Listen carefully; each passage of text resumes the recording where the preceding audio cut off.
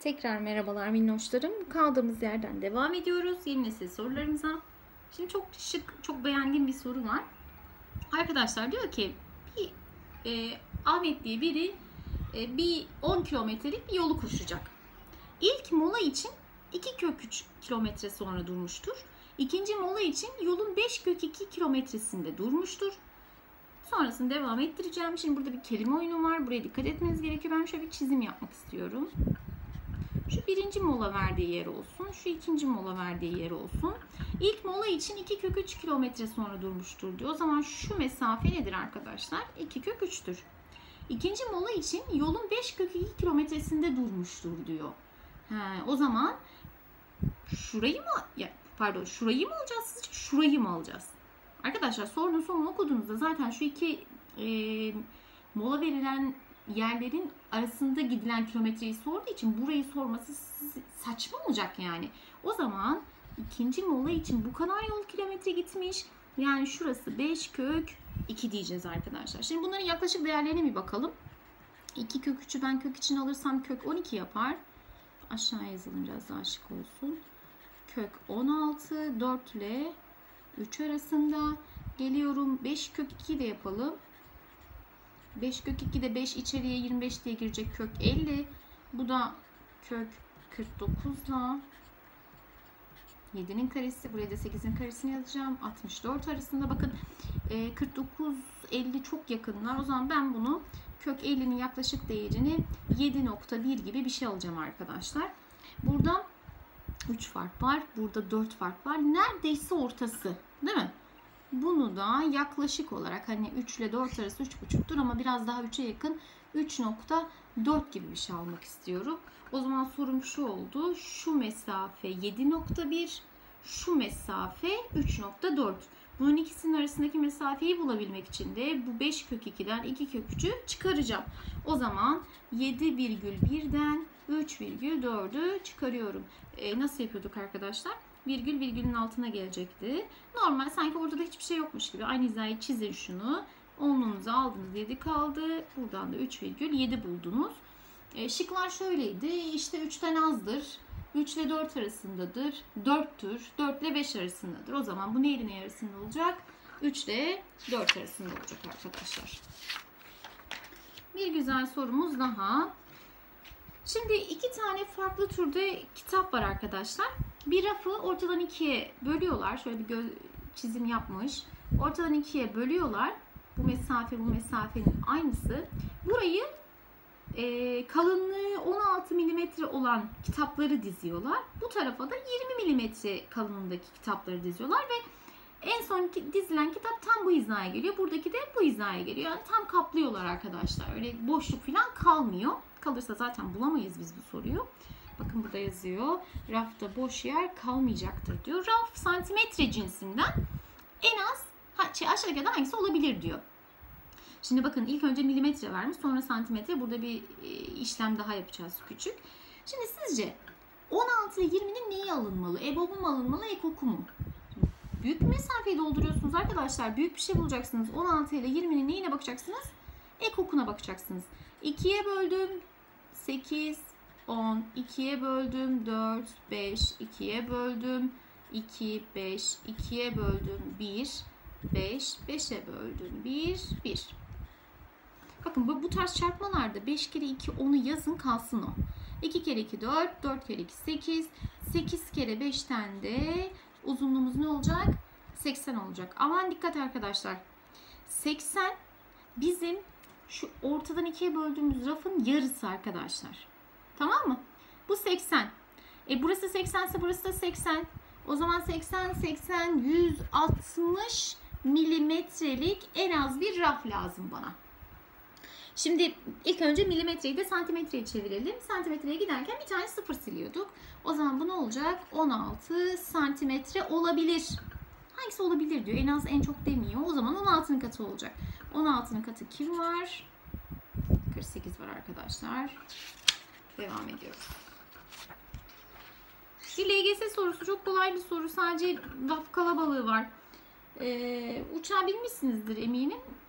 Elinize alacağınız valizinizin ağırlığının bir kısıtlaması var arkadaşlar. e, 8 kilogram veya 8 kilogramdan az olursa yanınıza alabiliyorsunuz valizinizi. Eğer fazla olursa alamıyorsunuz. Bu adam elindeki eşyayı yanına almak istiyor. Ama elindeki eşya Aycan'ın 9,08 kilometre kilogram ağırlığında. E şimdi e, minimum şey maksimum ne olması gerekiyordu? 8 olması gerekiyordu. O zaman benim bunun içinden bavuldan ne çıkarmam gerekiyor diye bakıyorum. Bakın ne yapacağız. İlk önce şöyle bir çizim yapacağım. Şöyle bir şey yapayım mesela. Şuraya da virgül atayım. İlk önce bir hatırlatma yapalım. Burası neydi? 10 üzeri 0. Hemen virgülün solu. 10 üzeri 1. 10 üzeri 2. Bu tarafa doğru da eksiliyordum değil mi? Eksi 1, eksi 2, eksi 3'tü. Sakın 10 üzeri 0'ı bir daha yazmıyorsun. Teker teker bu tarafa doğru büyüyorum. Bu tarafa doğru küçülüyorum.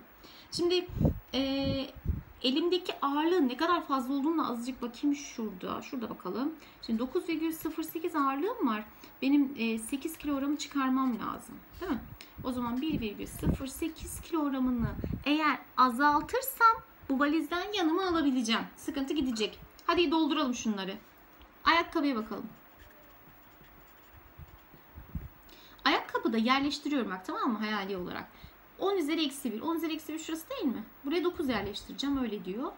Şimdi bu önünde virgülün önünde sayı yoksa 0 yazmam lazım değil mi? 0,9'u yazdım. Sonra 10 üzeri eksi 2'de de 8 var. Yani şurası da 8. 0,98 o zaman. Bakın kurtarmadı. Bu kilogramdan ne? Bu az. Küçük bir şey çıkardığında hala sana verilen limitten fazla geliyorsan alamazsın. Ayakkabı gitti mesela. Geldim. Kitap. Kitapta bakın 10 üzeri 0'da. 10 üzeri 0'da 1 varmış. Yani şurada 1 var. 1 tam. 10 üzeri eksi 1'de 1 varmış. Şurada da 1 var. Bakın arkadaşlar kafanız karışıyorsa virgülün sağında sayıdan sonra istediğim kadar sıfır atabiliyordum. Sizce 1,10 mu büyük 1,08 mi büyük? Tabii ki bu büyük. Benim çıkarmam gereken ağırlıktan bile fazla çıkarıyorum. Yani bu durumda fazlası iyi bir şey. Çünkü daha hafifleyecek elimdeki valizim. Aslında kitabı çıkardığımda kabul oluyor arkadaşlar ama yine de monta ve tablete de bakalım. Monta bakalım. Montun ki şurası 9'muş. Başında sayı olmadığı için 0,9. Dikkat. 10 üzeri eksi 3 diyor. Hani bunun 10 üzeri eksi 2'si? E orası yoksa da ne yapıyorduk? 0 atıyorduk. Burası da 5'miş. Bakın bu 1 tamken bu 0 tam. Kurtarmadı zaten. Geldim tablet. Tablete bakıyorum. 10 üzeri 0 yani şurasında 1 var. 1 virgül 10 üzeri eksi 3. Dikkat bak burası yok. Burası yok. O zaman iki tane sıfırım var yanımda. 10 üzeri eksi 3'ün orada da 9 var. Bakın bu mu büyük bu mu büyük? Hemen at şuraya bir 0. 0.80. Bu 0.09. Tabii ki yine küçük kaldı. Bu da işime yaramazdı. Zaten biz zor cevap bulmuştuk. Kitap diyoruz arkadaşlar. Sizin çok hoşlanmadığınız soru tarzlarından biri arkadaşlar. Bence çok güzel bir soru tarzı. Çok dikkatli dinleyin. E, ben biraz kısalttım tabii. Şekilli sorulardan nedense korkuyorsunuz. Aslında e, birçok sorudan çok daha kolay. Siz kendiniz de bir şeyler bulmanız lazım arkadaşlar bu tarz sorularda. Yani acaba ben nerede kolaylık e, bulmalıyım? Hangi şıktan ilerlemeliyim? Şimdi bakın. Anam size işlemler tanımlıyor. Yani bu senin benim bildiğim şeyler değil. Mesela kutu içine aldığın şey diyor. İçine yazdığın sayıyı kendisiyle çarp diyor. Bir şeyin kendisiyle çarpılması demek ne demek arkadaşlar? Aslında karesini almak demek. Mesela A'sınız, e, A ile çarpılacaksınız. A kare olacaksınız o zaman. Doğru değil mi arkadaşlar? O zaman bu mesela içine yazdığın sayının karesini al diyor.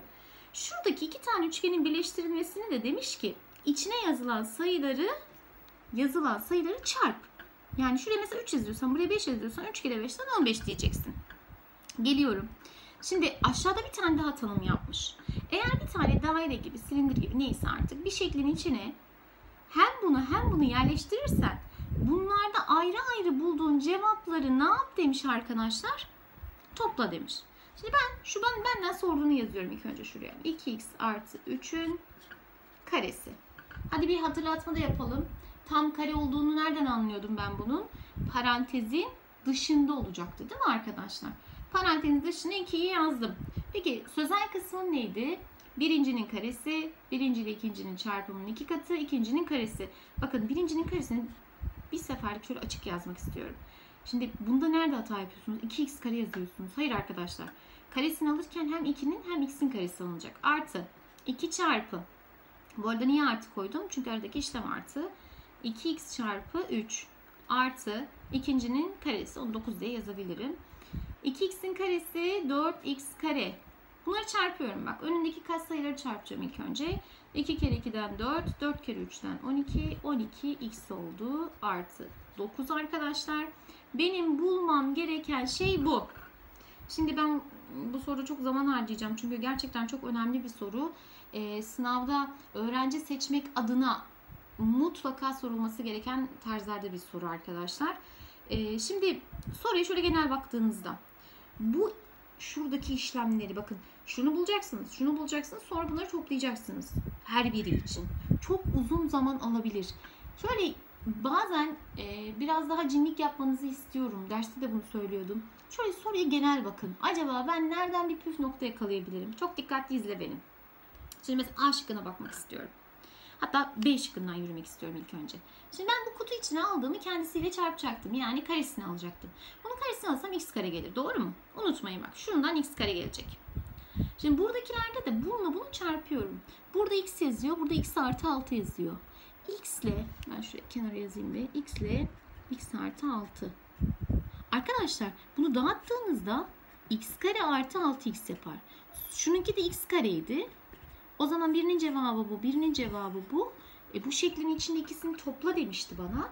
x kare ile x kareyi toplarsam 2x kare yapar. Ama adam bak benden kaç tane x kare istiyor? Arkadaşlar 4 tane x kare istiyor. O zaman bu tutmadı. Değil mi? Bakın B'yi eledim. Sonra devam ediyorum. Mesela şunun bakalım. Burada bu 2x'in karesini alırsanız 4 tane x kare yaptı. Şimdi şurada belki görmeniz biraz zor olabilir. Onun için buraya yazıyorum. 2x ile x artı 3 bu arkadaşlar. Ee, bunu dağıtıyorum içime. 2 tane x kare artı tane 6 tane x. Bakın bununla bunu toplayacaktık değil mi biz bu şekilde birleştirirsek. O zaman 2x kare ile 4x kareyi toplarsam buradan da 6 tane x kare geliyor arkadaşlar. Bakın bu da gitti. Ama şunlara bakalım. Mesela ben A'dan yürümek istiyorum. Bunun karesini alırsanız 4x kare geliyor evet. Şimdi bununla bunu çarpıyorum. Bakın 3 tane 2x artı 3. Buradan da 6 tane x geliyor artı 9 geliyor. Burada x kare olmadığı için sadece bu x kareyi alıyorum. Bak a tutuyor ama hemen atlamıyorum arkadaşlar. Çünkü birazdan yapacağız. Doğru cevap mesela Adana değil. Ee, bunun karesini alıyorum. Bununla bunu çarptım. Bak bunun karesini aldığınızda şuraya bakmanıza gerek yok. x kare bir tane x kare geliyor. Bunları çarptığınızda 3x ile x'i çarparsanız da 3x kare buradan geliyor. 1x kare de buradan 4x kare yapıyor. Atlamanız için hemen bu şıkkı buraya vermişler. Sakın düşmeyin. Ben e, A'nın olmayacağını biliyorum zaten. C şıkkından yürümek istiyorum arkadaşlar. İki tane şık kaldı. Ben bunu çok ayrıntılı anlattığım için uzun sürüyor. Siz düşündüğünüzde daha kısa sürecek. Hemen C'ye geldim. Şimdi kutu içindeki x artı 3'ü açıyorum. Karesini almayacak mıydık? Birincinin karesi. Birinci ile ikincinin çarpımının iki katı, ikincinin karesi. Bu birinci buldum. Şuna bakıyorum. O üçgenler içindeki olanları çarp demişti bana. Dağıtıyorum içime. 3x kare artı 6x. Bu sonuçla şuradaki bulduğum sonucu daire içine alırsam da bunların bulunan cevaplarını ne yap demişti? Topla demişti arkadaşlar. O zaman ben de bunları topluyorum. Bakın benzer terimler arasında işlemler yapıyordum değil mi?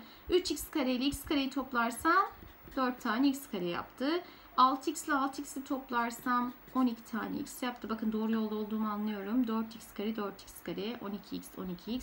Bir de son olarak 9 kaldı. Bu sonuç benim bulduğum sonucun aynısı. Ee, bir daha tekrarlıyorum. Özellikle çok şekilli sorularda rica ediyorum korkmayın. Ya da çok büyük paragraflı sorularda siz Türkçeden alışkınsınız zaten arkadaşlar. Yani ee, ama baktığınız işlem uzun sürüyor. Bilin ki orada bir püf nokta var. Yani ben bir şeyleri fark edip eleme yöntemi yapacağım. Şıkları öyle diyeceğim. Yoksa oturup işlem yaparsanız bunu 10 dakikada falan çözersiniz. Ha bu arada mesela sizin çözümünüzde bu soru için 3 dakika sürmüş olabilir. Size verilen süre atıyorum 2 dakikadır ama 3 dakikada çözmüşsünüzdür. Hiç önemli değil. Çünkü kolay tarzda sorularda zaten karşınıza gelecek arkadaşlar. e, genel anlamda artık biraz daha kırıldığını düşünüyorum. E, artık yeni nesil sorulara karşı tavrınızın. Bir daha tekrarlıyorum arkadaşlar. Bundan sonrakilerde de birkaç hafta daha işleyeceğiz. Genel tekrar sınava kadar daha doğrusu. Mutlaka elinize boş bir kağıt alın. Ekranı dondurun. İlk önce siz çözmeye çalışın. Sonra beni dinleyin. Eksiklerinizi tamamladıktan sonra eğer çözemediyseniz tabii ki mutlaka tekrar kapatın videoyu. Siz kendinize uğraşın. Sizleri seviyorum. Görüşürüz. Kendinize iyi bakın.